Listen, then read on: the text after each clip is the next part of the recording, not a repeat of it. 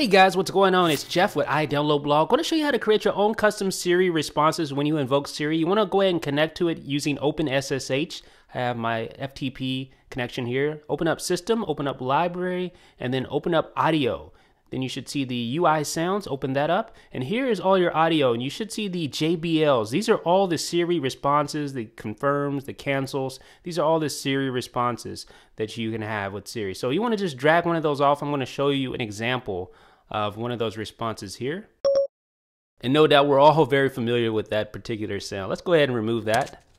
All right, now we're going to just drag off the uh, JBL begin file. Now this is one that was created as a custom sound. Yes? Yes. That was created for hands-free control, and that is one of their sounds.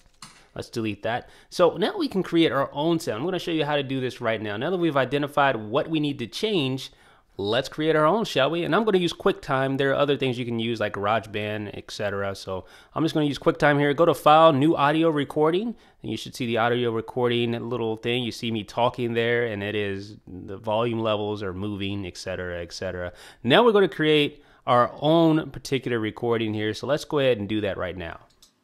Hey, Jeff. Okay, so that's how I want Siri to respond when I invoke Siri for the first time. So let's hear it. Hey, Jeff. Okay, so that sounded decent, but you still hear the mouse clicks in there and some delay. So let's trim this audio using the edit trim option. And you can just drag that over like that, and then we'll drag the end over like that. Now let's hear it. Hey, Jeff. Okay, so that sounded a lot better. So let's go ahead and click trim. That'll trim that audio, get all that extra stuff out of there. And then you want to go to File, and then you want to select Export. And we're just going to export this to our desktop as audio only, obviously. Hey, HeyJeff.m4a click export and that will export to your desktop. And here is the file that we need. Um, hey jeff. there you go. So it sounds really good. Sounds like it will be perfect for siri. Now the next thing we need to do is get this file converted. So we'll close out quicktime player and we're going to convert it to a file format siri can recognize. So open itunes go to preferences and then under the general tab click import settings and then change the import using to AIFF encoder and click OK OK. Now that we have that, what we want to do is just go ahead and drag our file into iTunes. I did just went ahead and created a search on Hey Jeff, dragged it in here, and there is the Hey Jeff file right there. Now just open that up in album view, right click on the Hey Jeff file or whatever your file is called, and then select create AIFF version. Okay, now you want to right click again, select show in Finder, and now we want to identify our file that we just created. There it is, Hey Jeff AIF there we go. So we just want to go ahead and drag that over to our desktop because that's what we need here. All right, great. So once we have it dragged over to our desktop, you want to go ahead and close out of iTunes. You can delete the original heyjeff.m4a file just like that. And now we have the heyjeff.aif file. So that is what we need. We're good to go. Then we want to open up our FTP connection again and you want to just rename the JBL begin.caf file because we want to save that off. We don't want to delete it, but we're going to replace it with our new creation.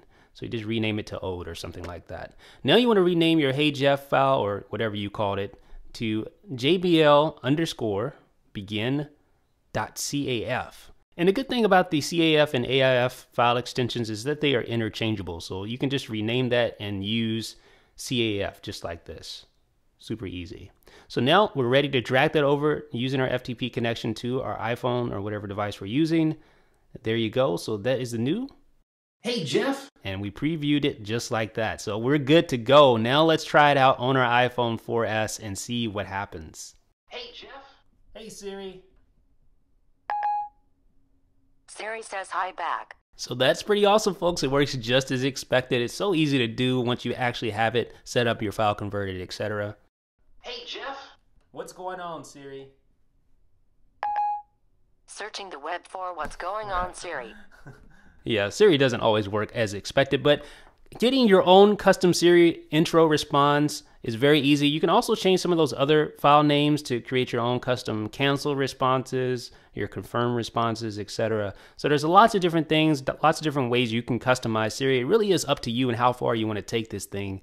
Let me know what you think in the comment section. Oh, big shout out to, well, I don't know how to pronounce his name, but S14T3R on Twitter. Shout out to him for giving me the idea to do this. Let me know what you think in the comment section. This is Jeff with iDownload Blog.